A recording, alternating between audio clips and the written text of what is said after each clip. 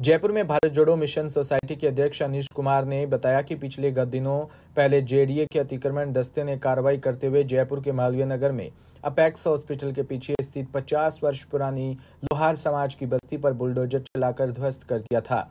इसी के चलते शुक्रवार को घुमतू समाज के पंच पटेलों की ओर से जयपुर विकास प्राधिकरण के जेडीसी और सतर्कता अधिकारी को ज्ञापन दिया और साथ ही मांग की कि घुमतू परिवार को पुनः उनकी भूमि पर बसाया जाए और ऐसा न करने पर आगामी दिनों में घुमतू लोग भारत जोड़ो मिशन सोसाइटी के नेतृत्व में आमरण अनशन करेंगे, जिसकी समस्त ज़िम्मेदारी जेडीए प्रशासन की होगी।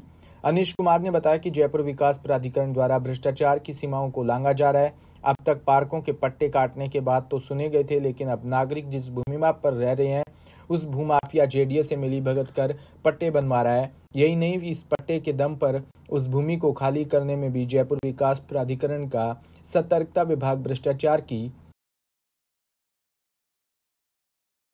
ये लोग 50 वर्षों से एक ही भूमि पर रह रहे थे। भूमाफिया ने गलत तथ्य देकर पट्टे बनवाए। ये जब रह रहे थे उस जगह पर तो फ़िज़िकल वेरिफिकेशन हुआ नहीं, उसके बिना पट्टे बनवाए। अभी जो कार्रवाई हुई है, उसमें जे स्तर पर ये कागजात सामने आए हैं कि उन्होंने इस टीम को सिर्फ़ 500 गज अतिक्रमण हटाने भेजा था। लेकिन यह टीम मिली भगत कर पूरे 5000 भूमि को अतिक्रमण मुक्त कर, इनके सामान को गायब कर और भूमाफिया को वो ज़मीन सौंप कर आ गए। हम लगातार प्रयास कर रहे हैं, ये जो सड़कों पर है, इनकी ज़मीन जो छीनी गई है, इन्हें वापस दिलाया जाए, इनकी जो इज़्ज़त को तार तार किया गया है, उसका खामियाजा इन अधिकारियों पर कार्रवाई कर किया जाए। प्रथम दृष्टिया यहाँ इन्फोर्समेंट अधिकारियों के नेतृत्व में जो टीम गई है, उसका पैसा लेना पाया गया है। हम संघर्ष करेंगे, तीन दिन का टाइम दे रहे हैं। सोमवार के बाद हम बड़ा धरना प्रदर्शन करेंगे और आमरण अनशन की घोषणा करके जा रहे हैं हम। भारत जोड़ो मिशन सोसाइटी के नेतृत्व में घुमंतु समाज के सभी नेता आमरण अनशन करेंगे तीन दिन बाद। जयपुर विकास प्राधिकरण सुन लें और जो अधिकारी भ्रष्ट है वे सुन लें।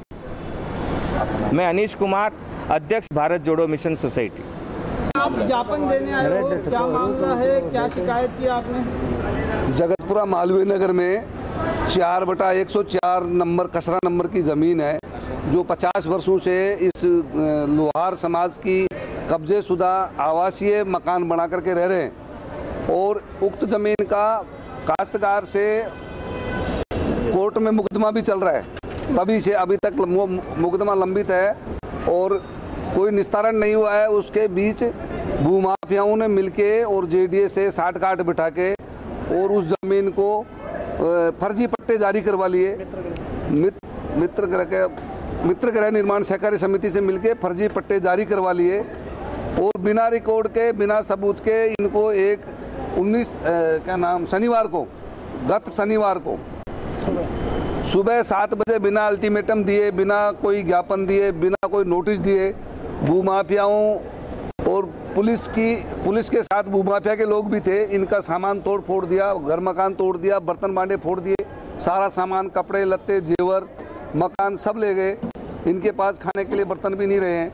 खाना बना के रोड पे पड़े हैं। ये लोग इतने दिन से पाँच सात दिन से सात आठ दिन से ये लोग बेघर हो रहे हैं। कोई प्रशासनिक अधिकारी या कोई जेडीए के अधिकारी या कोई पुलिस के अधिकारी इनकी कोई सुनवाई नहीं हो रही है। तो हम ये चाहते हैं कि सभी प्रशासनिक और जनप्रतिनिधि सब मिलके और इनको न्याय दिलावें। और मामले में आपने किसको ज्ञापन दिया?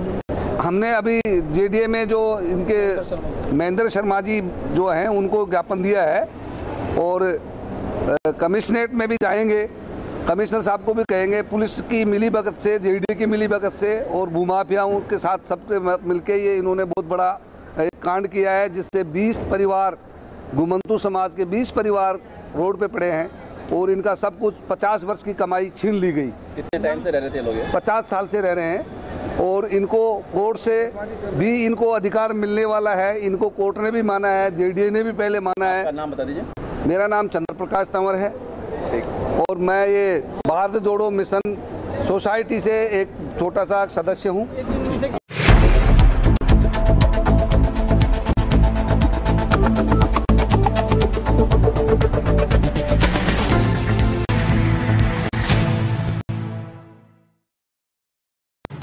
राजस्थान।